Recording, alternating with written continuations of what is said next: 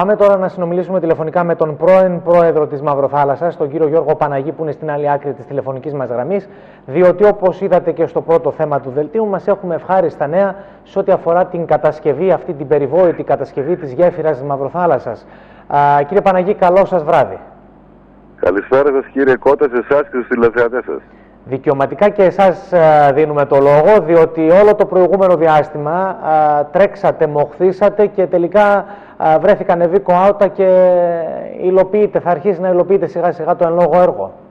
Κύριε Κώτα, αυτό ήταν έτοιμα της Μαυροθάλασσας πολλών χρόνων. Δεν έχω τρέξει μόνο εγώ. Εγώ είμαι ο τελευταίος που έτρεξα τα τελευταία χρόνια mm από την ώρα που ανέλαβα την προεδρία του χωριού. Πιο μπροστά από μένα έχει προηγηθεί ο Παναγιώτος Γιώργος και πιο μπροστά ακόμα άλλοι. Είμαστε πολύ χαρούμενοι. Πήρε το δρόμο της υλοποίησης. Ακόμη το χωριό δεν το πιστεύει να φανταστείτε. Γιατί τέτοιο, ένα τέτοιο μεγάλο έργο για τη Μαυροθάλασσα μετά από τόσα χρόνια και από τόσα όνειρα που κάναμε για να γίνει, φαίνεται ότι πλέον υλοποιείται. Θα μας φέρει κοντά στην πόλη των Σερών, κοντά στο νοσοκομείο και η αγορά των Σερών θα έχει όφελος και η Μαυροθάλασσα θα έχει μεγάλο όφελος γιατί έχει την τράπεζα, διεκδικεί να πάρει η τράπεζα πελατεία και από το Δραβίσκο και από το Μαυρόλοφο και από τα απέναντι χωριά. Γενικά είναι μια γέφυρα, ανοίγει μια επικοινωνία ακόμα. Ένας δρόμος ακόμη. Εσείς το πιστεύετε ότι θα γίνει πράξη αυτό; Εγώ πιστεύω ότι έχει τελειώσει ήδη, είναι τελειωμένο. Mm -hmm. Την ώρα που βρέθηκε ανάδοχος, δεν βρίσκω πλέον αιτίας του να μην γίνει. Mm -hmm. Πάντως ε, αυτό ζητούσατε όλοι εκεί, και οι κάτοικοι και οι τοπικοί αυτοδιοίκηση. Όλοι, ναι. Είμαστε χαρούμενοι όλοι. Mm -hmm. Σας λέω ότι είμαστε τόσο χαρούμενοι που δεν το πιστεύουμε ακόμα. Έχει ακόμη κόσμο που δεν το πιστεύει. Γιατί το άκουγε για 50 και 40 χρόνια. Μάλιστα.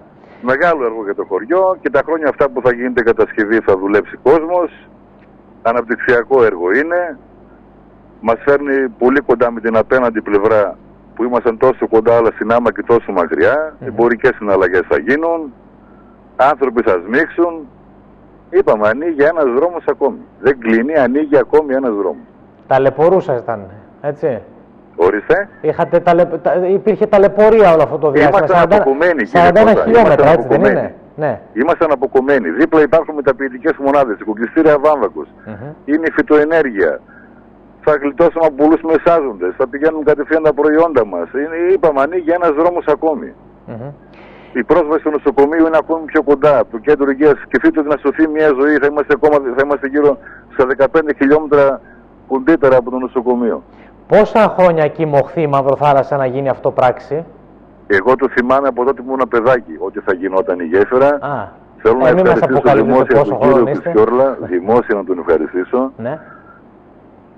που κατάλαβε την αναγκαιότητα του έργου πέρυσι όταν του συνάντησα για πρώτη φορά και μας βοήθησε ώστε να υλοποιηθεί. Στη Θεσσαλονίκη είχε γίνει η ανακοίνωση αυτή, έτσι δεν είναι; Καλά ναι, θυμάμαι. Στη Θεσσαλονίκη μας είχε καλέσει εγώ με τον ε, αντιδήμαρχο της περιοχής είχαμε πάει και έγινε η αναγγελία εκεί και ο κύριος Μωυσιάδης που είχε έτοιμη τη μελέτη και βρήκαμε τον τρόπο να τη χρηματοδοτήσουμε. Mm -hmm.